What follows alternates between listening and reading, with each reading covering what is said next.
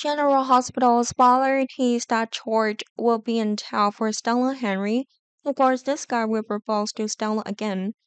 Whether Stella agrees or not, George was to hang around in town, and it is also possible that George decided to settle in town for the sole purpose of being equal to Stella. As fans know, Stella is living alone in town. Stella focuses all her time and effort on her nephew Curtis Ashford problem. Stella knew she didn't have time to think about anything else that said, of course, and Stella mind, Stella heart had begun to vibrate again.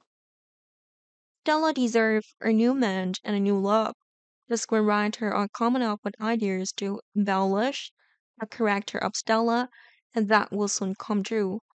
Stella once went to London and there she met George.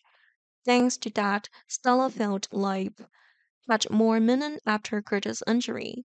Curtis could not walk. Even Curtis knew that Curtis himself was a burden to his family. Curtis didn't want to involve anyone, but being in a wheelchair left Curtis with no other choice. Gregory had only met Stella once, but George was already fascinated by this woman. So George decided to propose to Stella in London. But at that time Stella refused. Stella knew that if Stella agreed, she would have to move to London to live with George. Stella didn't want to leave town.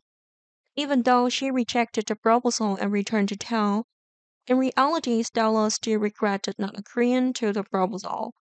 But fortunately, George took the initiative to come to town and wanted to win back his love. However, there was another truth that shocked Stella. Curtis' father, Marshall Ashford, liked Stella.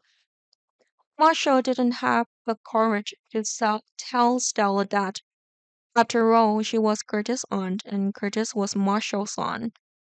In terms of relationship, they are quite close relative. Plus, Marshall is also shy and showing affection. When George came to town and proposed to Stella, that was when Marshall was most afraid of losing Stella. That's why Marshall boldly confessed to truth. Marshall was afraid that George would really have Stella.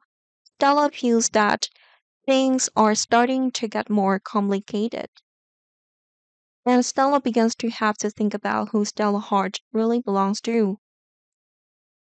Marshall and Curtis' father and Stella knows Marshall very well. Stella also feels extremely secure if she chooses Marshall as the person to accompany Stella for the rest of her life. But then again, they are related, so choosing Marshall wouldn't be right. Meanwhile, if Stella chooses George, this is not certain that Stella will feel happy. Both George and Stella don't understand each other very well, if not say they don't understand each other. That's true because the two had just met a few times and George was too hasty in proposing to Stella. Of course, for middle-aged people like George and Stella, romance is no longer so important. But without romance, there will definitely be no love between them. Ultimately, regardless of the outcome, fans will soon see George and Marshall going head to head over the same woman. Of course, these two men will become enemies, and Stella cannot prevent their tense clashes.